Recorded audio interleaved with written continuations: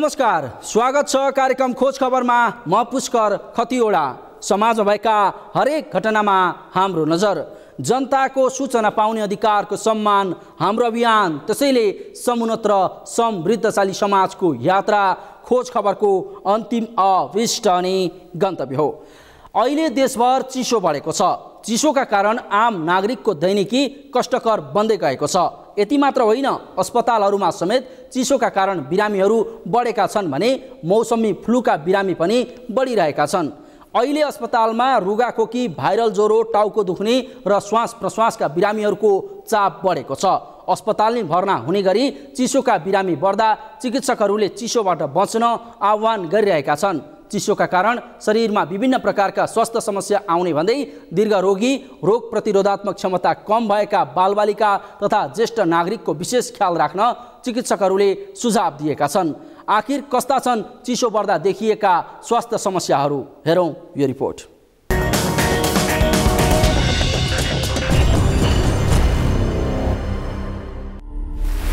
चिसो बढेसँगै देशभरका अस्पतालहरूमा बिरामीको चाप।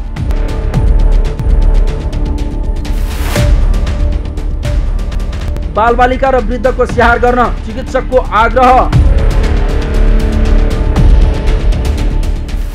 रुगाखोकी नरोकिए अस्पताल जान चिकित्सकको सुझाव।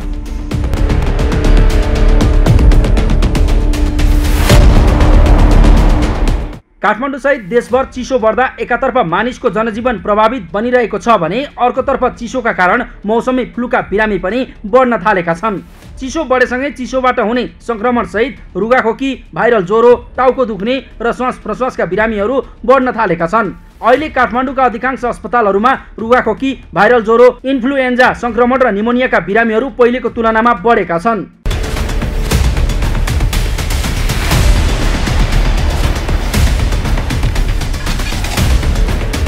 अहिले मौसममा भएको बदलीपछि देशभर चिसो बढेको छ। चिसो बढ्दा शरीरमा विभिन्न प्रकारका समस्या आउने र सामान्य रुगाखोकीदेखि श्वास प्रश्वास समस्या दम निमोनिया मुटु बाथ कोल्ड डायरिया लगायतका स्वास्थ्य समस्या बढी देखिने चिकित्सकहरू बताउँछन्। चिसोले दीर्घरोगी रोग प्रतिरोधात्मक क्षमता कम भएका बालबालिका तथा ज्येष्ठ नागरिकहरू बढी प्रभावित हुन्छन्। त्यसैले यो समयमा बालबालिका वृद्ध वृद्ध एवं दीर्घ रोगीहरूलाई बढी ख्याल गर्न चिकित्सकको सुझाव छ। चिसो मौसममा फोक्सो र श्वास सहित दम मुटु रोग र फोक्सोमा समस्या भएका बालबालिकाको स्वास्थ्यमा थप समस्या पर्ने हुँदा उनीहरूको विशेष ख्याल राख्न चिकित्सकको सुझाव छ। चिसोले गर्दाखेरि सबभन्दा बढ्ने बिरामी भनेको फोक्सो सम्बन्धीकै बिरामीहरू बढी हुन्छ। यसमा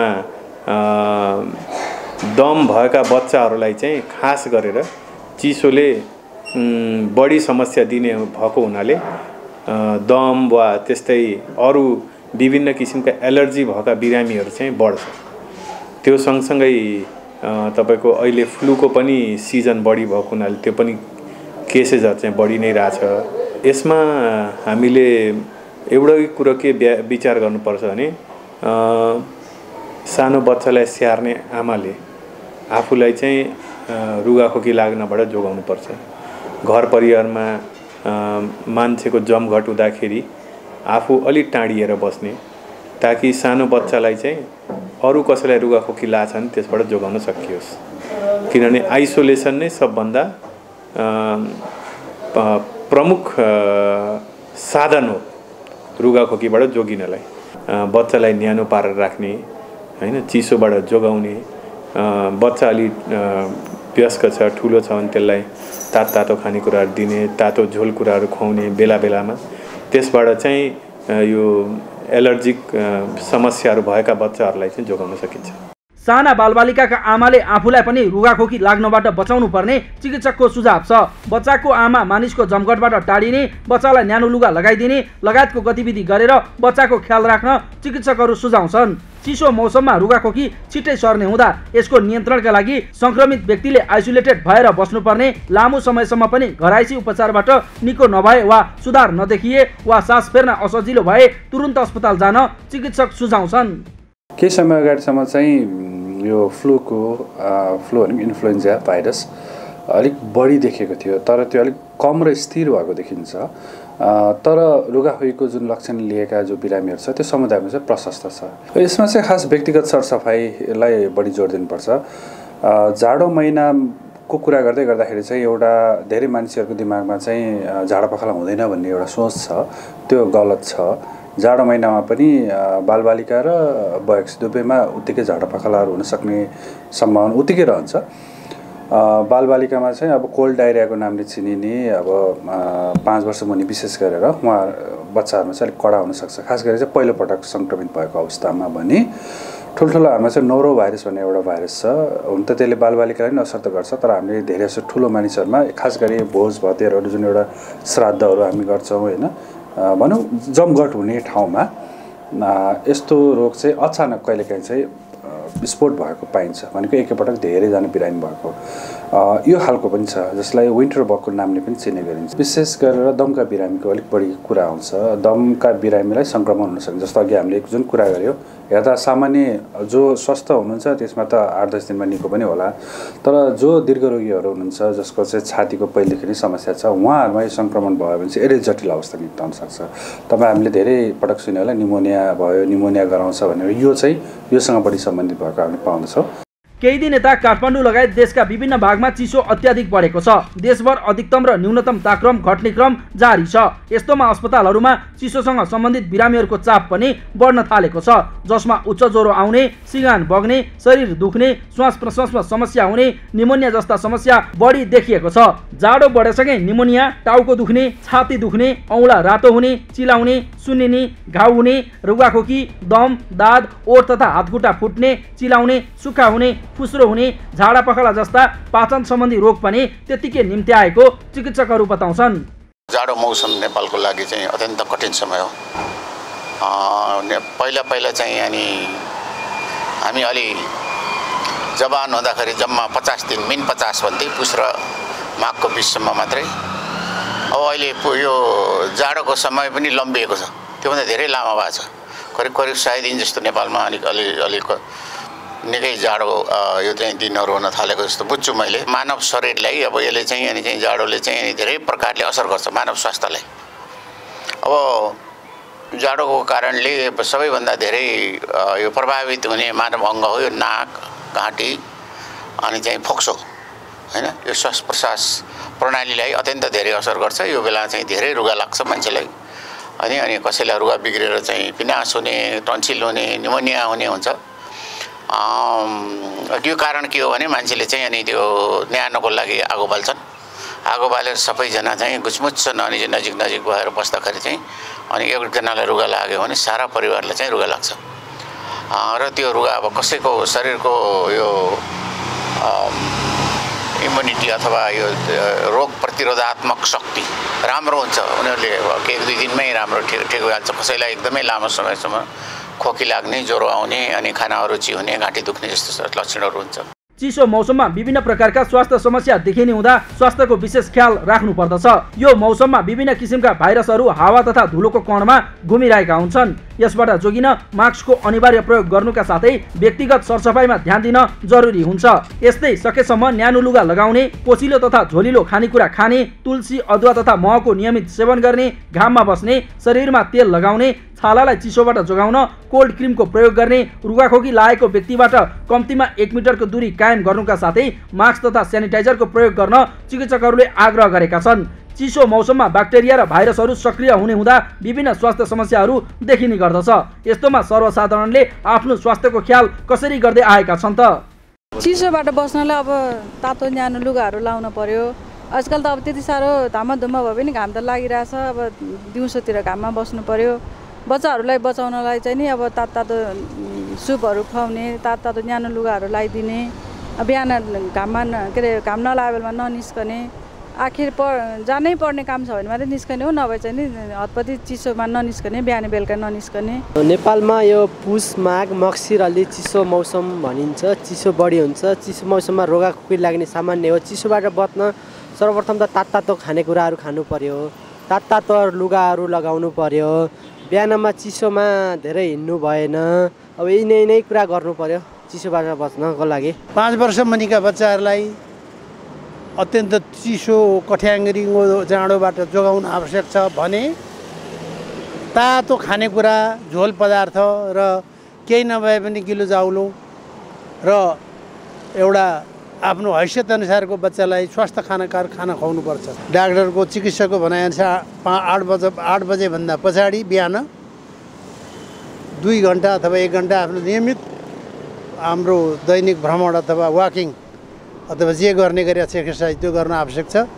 चिसो बढेसँगै अस्पतालहरूमा चिसोबाट ग्रसित बिरामीहरू उपचारका लागि पुग्ने क्रम बढेको छ। यस्तोमा मौसम परिवर्तनसँगै हुने स्वास्थ्य समस्याले भिटामिन सी र डीको मात्रामा कमी ल्याउँछ। चिसोमा वृद्ध वृद्ध र बालबालिकामा झाडा पखाला पनि हुन सक्छ। त्यसैले यो समयमा शरीरको तापक्रम नियन्त्रित राख्न आवश्यक हुन्छ।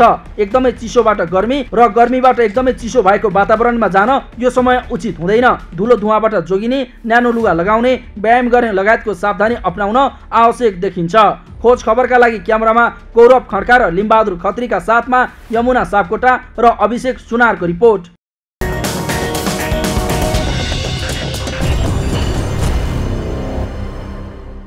हो जाडोयाममा ब्याक्टेरिया र भाइरसहरू सक्रिय हुने हुँदा विभिन्न खालका स्वास्थ्य समस्याहरू देखिने गर्दछ। त्यसैले यो मौसममा बालबालिका तथा वृद्ध वृद्धाहरूको विशेष ख्याल राख्नुपर्दछ चिसो बढेसँगै रुगाखोकी ज्वरो र मौसमी फ्लू हुने सम्भावना हुँदा अन्यले पनि विशेष सावधानी अप्नाउन जरुरी छ।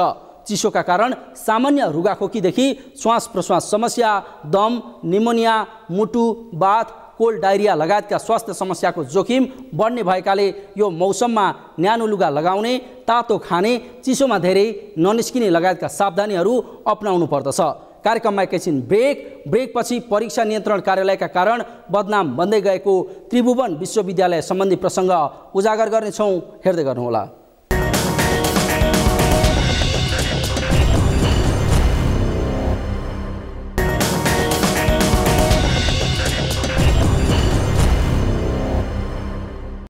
ब्रेकपछि स्वागत छ। कार्यक्रम हो खोज खबर यदि तपाईँ त्रिभुवन विश्वविद्यालयमा अध्ययनरत हुनुहुन्छ र ट्रान्सक्रिप्ट लिन बल्कु पुग्नु भएको छ भने पक्कै पनि तपाईँले शास्ति भोग्नु भएकै होला। सकेसम्म समयमा ट्रान्सक्रिप्ट नआउने आउँदा गलत विवरण आउने त्यो लिँदा पनि दिनभरि लाइनमा बस्नुपर्ने र त्यहाँ पनि कर्मचारीको झर्को फर्को सुन्नुपर्ने त्रिवीमा उत्तीर्ण भई ट्रान्सक्रिप्ट लिन पुग्ने हरेक विद्यार्थीको नियति नै बनेको छ। देशकै जेठो र गौरवपूर्ण इतिहास बोकेको विश्वविद्यालयको यो हविगतले त्रिवीको सेवा झुर बन्दै गएको सङ्केत गर्दछ। एक थान प्रमाणपत्र लिन आफ्नै विश्वविद्यालय पुगेका विद्यार्थी त्रिवीको सेवाबाट आजित हुने गरेका छन्। आखिर के छ त यसको वास्तविकता? हेरौँ यो रिपोर्ट।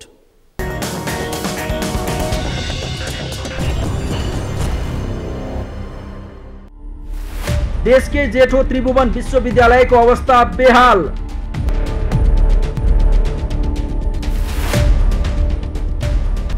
ट्रान्सक्रिप्टदेखि त्रिवीका सबै सेवामा चरम लापरवाही।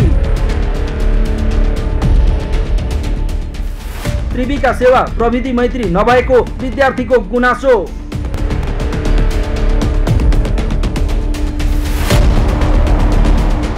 पैसा डिपोजिट गरेर बल्ल पाएको छु कि अनि फेरि प्रोसेस धेरै लामो हुँदो रहेछ। अनि त्यही हो अलिकति आफ्नै के ठिक गर्दा गर्दै पनि हामीहरूको मार्क्स चाहिँ पुरै मिस्टेक भएर आउँदो रहेछ क्या जब मेरो प्रवेश मेरो नाम पनि ठिक छ अनि रजिस्ट्रेसनमा पनि ठिक छ। फेरि यहाँ मिस्टेक आएको भएर मैले धेरै दुःख पाइरहेको छु। टाढा आउँदाखेरि हाम्रो खर्च पनि भइरहेको रहेछ। त्यसको माथि पनि अब हामीले नगरेको मिस्टेक पनि यहाँ आएर उहाँहरूको कारणले गर्दा हामीले दुःख पाइरहेको छौँ कि होइन? त्यो पनि यहाँहरूले एकदम मार्क्स निकाल्दाखेरि आफ्नो तर्फबाट गर्ने पनि काम चाहिँ एकदम जिम्मेवारीपूर्वक अलिकति त्रुटिहरू नराखेर गरिदिएको भयो होइन? त्यसमा पनि हामीले अलिक सहज हुन्थ्यो। अनि के हो अलिकति समस्या मैले मेन चाहिँ त्यही देखेँ कि जस्तो हामीबाट नभएको गल्ती पनि उहाँहरूले गर्दाखेरि हामी दुःख पाइरहेको छु। आफ्नो ठिक भर्दा भर्दै पनि नाम पनि मिस्टेक आइरहेको छ। रजिस्ट्रेसनमा पनि मिस्टेक आइरहेको छ। त्यसको लागि दौडी धेरै छ कि यताबाट उता पठाएको एकदम लङ टाइम फर्किरहेको छ। एक्स्ट्रा पैसाहरू चार्ज पनि लागिरहेको छ। त्यो मेन समस्या मैले त्यही देखिरहेको छु। मैले भोगेको चाहिँ त्यही छ अहिलेसम्म। नेपालगञ्जबाट ट्रान्सक्रिप्ट सच्याउन बल्खु स्थित परीक्षा नियन्त्रण कार्यालयमा किरणले जस्तै समस्या भोग्ने विद्यार्थीको सङ्ख्या उल्लेख्य छ। अधिकांश विद्यार्थीहरू त्रिवीका कर्मचारीको लापरवाहीका कारण आफूले दुःख पाउने गरेको बताउँछन्। ट्रान्सक्रिप्टकै लागि परीक्षा नियन्त्रण कार्यालय पुगेका विशाल सापकोटा पनि समयसँगै विश्वविद्यालयको परीक्षा नियन्त्रण कार्यालय चलन नसकेको गुनासो गर्छन्। विश्वव्यापीकरणको युगमा पनि राजस्व तिर्दा मोबाइल ब्याङ्किङ वा ई सेवा जस्ता प्रविधिको प्रयोग नहुनु राजस्व तिर्नैका लागि घन्टौँ लाइनमा बस्नुपर्ने नियम र हातले नै फारम भर्नुपर्ने लगायतका बाध्यताहरू विद्यार्थीहरूले भोग्दै आएका छन्। कति विद्यार्थीहरू लाइनमा बसिराख्नु भएको छ उहाँहरू तिन घन्टा दुई घन्टा त्यो राख्नु भएको छैन। सधैँ धेरै बस्छन् यो सबै चिजलाई डिजिटलाइजेसन गरेर अनलाइनबाट फर्म भएर अनलाइनमै रिसिभ गर्ने मोनिटाइजेसन गरेर उहाँहरू पढेन त्यसरी उहाँले चाहिँ सेवा खल्ती ब्याङ्क ट्रान्सफरबाट पेमेन्ट गर्नुभयो भने यहाँ पेमेन्ट गर्नु सकेको पनि भएन र बिचबाट पनि हुनु भएन पार्किङ पनि हुँदैन मान्छे आफ्नो बेलामा चाहिँ आउँछ र पार्किङ पनि कम हुन्छ र यो एरिया त्यति धेरै क्राउडेड पनि रहँदैन जुन सेक्टरमा जानुपर्ने अथवा डिग्री डिपार्टमेन्टमा जानुपर्ने त्यो सेक्टरमा गएर चाहिँ घट्छ किनकि यहाँनिर यति धेरै कलेज छ यति धेरै आइटी क्याम्पसहरूको विद्यार्थीहरू हुनुहुन्छ त्यति भएको कारणले सबैजना एकै ठाउँमा एउटा सानसानो चिजकोलाई आइराख्दा पर्छ समस्या अर्को चिज भनेको एउटा विद्यार्थी डाक्टर पास आउट भइसकेपछि लिनलाई केही आउनुपर्ने माइग्रेसन निकाल्न फेरि केही समयपछि आउनुपर्ने। र पोजिसन निकाल्न फेरि केही समयपछि आउनुपर्छ। त्यो तिन तिनचोटि आइराख्दाखेरि टाइम मनीदेखि लिएर सबै कुराको यस्तो वेस्ट भइरहेको छ। विशाल र किरण जस्ता धेरैले त्रिवीमा अध्ययन गर्न भन्दा अध्ययन पछिको शैक्षिक प्रमाणपत्र लिन शास्ति हुने गरेको गुनासो गर्छन्। त्यसो त कर्मचारीको मनोमानी फितलो व्यवस्थापन र प्रविधि मैत्री बन्न नसक्दा विश्वविद्यालयमा न त शैक्षिक क्यालेन्डर अनुसार पठन पाठन हुने गरेको छ न त परीक्षा नै समयमा हुन्छ। अझ नतिजा कुर्नुपर्ने छुट्टै बाध्यता समेत हुने गरेको छ।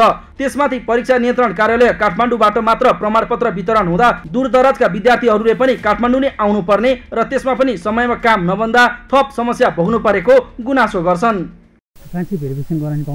पैसा त्यहीँ तिर्छौँ अनि त्यो भएपछि डाइरेक्ट कन्भोकेसनको ठाउँमा हाम्रो सर्टिफिकेट आउँछ। त्यहाँ हामीले ब्याङ्क जानु पऱ्यो न छाप लाउनु पऱ्यो फर्म पनि अनलाइन भर्न पायो। सबै गर्दाखेरि ओरिजिनल सर्टिफिकेट डाइरेक्ट त्यहाँ आउने।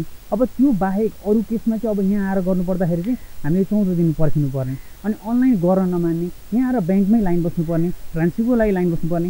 हाम्रो जिन्दगी चाहिँ लाइनै बसेर जाने भयो क्या। अनि यो लाइन बस्नुपर्ने जरुरत छैन त। यो उहाँहरूले भेरिफिकेसन गर्न सक्नुहुँदो रहेछ ट्रान्सक्रिप्ट भेरिफिकेसन गर्न सक्नुहुँदो रहेछ अनलाइनमै गर्न सक्नुहुँदो रहेछ अहिले कन्भर्सेसनमा गरिरहनु भएको छ भने किन यहाँ आएर यसरी दुःख दिनु त? अनलाइन हामीले पैसा पनि तिर्छौँ ट्रान्सक्रिप्ट पनि बुझाउँछौँ सबै डकुमेन्ट डकुमेन्ट बुझाउँछौँ भने सिधै आएर हामीले डकुमेन्ट दिन सकिँदैन त? यत्रो विद्यार्थी झुलाएर राखेर हुन्छ र यो चाहिँ एकदमै लाज मर्दो कुरो भइसक्यो क्या यो।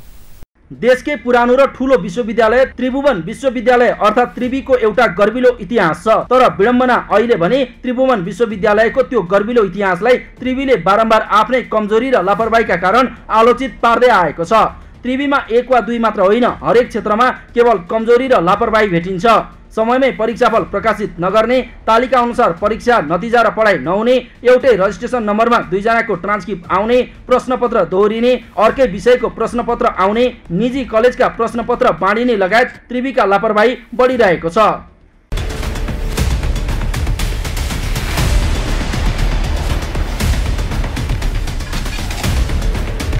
त्रिभुवन विश्वविद्यालय परीक्षा नियन्त्रण कार्यालयले तयार पार्ने मार्कसिटमा कसैको नाममा गल्ती कसैको रजिस्ट्रेसनको नम्बर छुट्ने कसैको प्राप्ताङ्कमै त्रुटि हुने गरेको छ।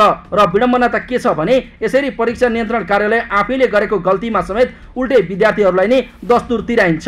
यसरी बिना कारण झन्झट दिने र विद्यार्थीको समय समेत खर्च गरिदिने त्रिवीको प्रवृत्तिले विद्यार्थीहरू आजित बनेका छन्। तर यसतर्फ सम्बन्धित निकायले कुनै चासो देखाएको छैन।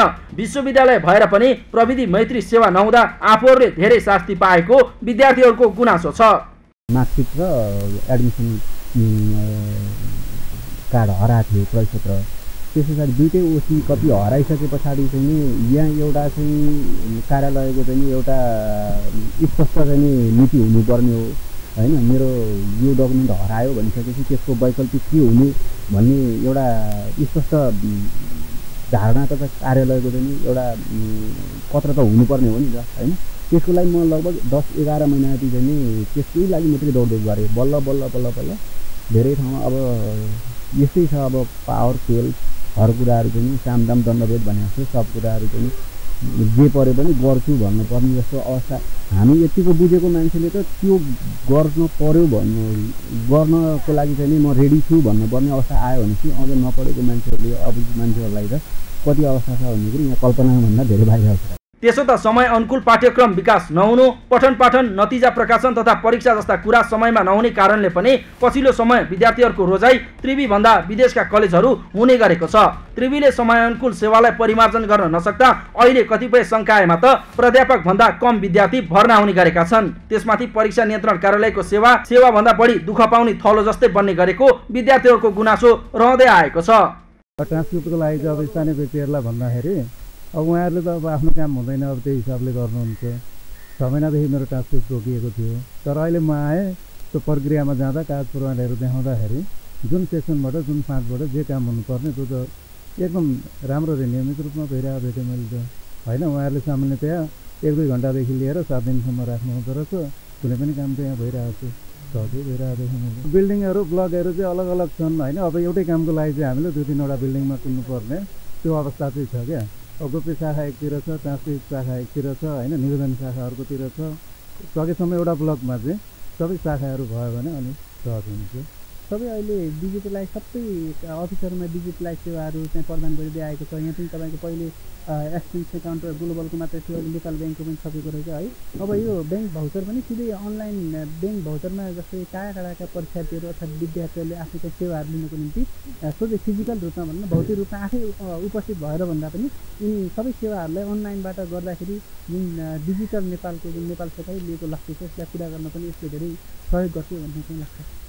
त्रिवीको लापरवाहीले अधिकांश विद्यार्थी आजित छन्। विद्यार्थीको उत्तर पुस्तिका हराउने नतिजा आउँदा एब्सेन्ट आउने नतिजा आउँदा अर्कै विषयको नतिजा आउने जस्ता समस्या त त्रिवीका लागि आउनै बनेको छ। यस्तै शुल्क बुझाउने काउन्टरमा हुने थेगी नसक्नुको भिडलाई त्रिवीले समाधान गर्न सकेको छैन जसका कारण सेवा लिन आएका विद्यार्थी झन बढी मारमा पर्ने गरेका छन्। फ्यु एफिलेटेड कलेजहरूमा चाहिँ हाम्रो फर्महरू कहाँबाट लिने यताउता चाहिँ अब कलेजको स्टाफहरूले चाहिँ नभनिदिने कि? अनि हामीले आफैले चाहिँ अब एकचोटि उता जाँदाखेरि अर्को स्टाफले उता पठाउने उता पठाउने गरेर एक त कलेजमै घुम्नुपर्ने फेरि यहाँ आएर पनि त्यही हालत देखिन्छ क्या। अनि फेरि अहिले फर्म भऱ्यो एक महिनापछि सर्टिफिकेट दिन आउनु भनेर भनिरहेको हुन्छ उता हाम्रो एडमिसनको डेट गइरहेको हुन्छ। अनि त्यसरी चाहिँ हाम्रो टाइमली चाहिँ केही पनि मिलिरहेको हुँदैन। मैले उता सिग्नेचर गराउनु जाँदाखेरि एक ठाउँमा अफिसको उसले चाहिँ सिग्नेचर एक एकजना एकजनाले गर्ने। र त्यस पछाडि फेरि उहाँको स्टाम्प चाहिँ फेरि अर्को मान्छेले गर्नुपर्ने कि।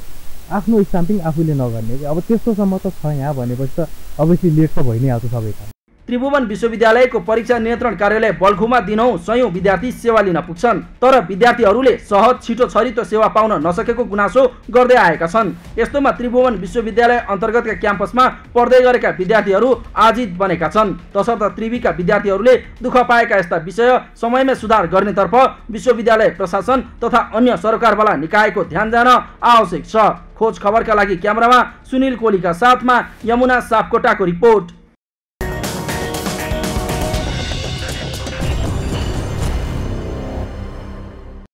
हो प्रविधिको युगमा पनि त्रिवीका सबै कामकाज सुस्त छ। अझै पनि त्रिवीमा ढड्डा पल्टाएर काम हुने गरेको छ तर यसलाई समाधान गर्न कुनै नेतृत्वले चासो देखाएका छैनन्। जसका कारण सर्टिफिकेट लिन दुःख पाउनु झन्झटिलो प्रक्रिया हुनु कर्मचारीको बोली रुखो हुनु समयमा काम नहुनु लगायतका समस्याले पनिका पुग्ने हरेक विद्यार्थी आजित बनेका छन्। यदि कसैलाई कार्यालयको कुन शाखा कता छ र कुन शाखामा के के काम गराउनु पर्दछ त्यसबारे जानकारी नभए त यहाँ सेवाग्राही विद्यार्थी कर्मचारीबाट अपहेलित हुनुपर्दछ तसर्थ यसतर्फ त्रिवी र सरकारवाला निकायको ध्यान जान जरुरी छ। हवस् त आजलाई कार्यक्रम खोज खबर यति नै। कार्यक्रम खोज खबरका विषयमा कुनै प्रतिक्रिया छन् भने हामीलाई Khoj Khabar at the rate Sagarmatha dot टिभीमा इमेल गर्न सक्नुहुन्छ अथवा फोन नम्बर शून्य एक पाँच सत्तरी साठी चौहत्तरमा फोन पनि गर्न सक्नुहुन्छ। लुकेका र लुकाइएका खबर निरन्तर जारी छ। नेपालको पहिलो न्युज च्यानल सगरमाथा टेलिभिजन। हेर्दै गर्नुहोला। नमस्कार।